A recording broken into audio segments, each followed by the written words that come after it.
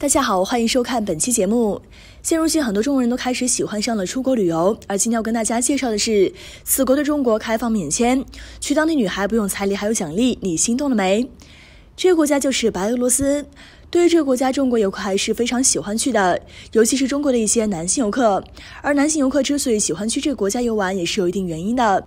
首先是因为这个国家对中国开放免签，所以去这个国家旅游会比较方便，不用担心签证的问题。第二就是因为俄罗斯国家的女性都是高颜值的美女，相信没有多少男人是不喜欢美女的吧。第三个就是这个国家的男女比例失调。一直都处于女多男少的状态，所以这个国家的单身女性是非常多的。而且大家都知道，在我们中国娶老婆是一件非常重要的事情，而且要花很多的钱，光是彩礼钱就是一大笔的支出。而且像很多女孩子都要求男方必须有车有房。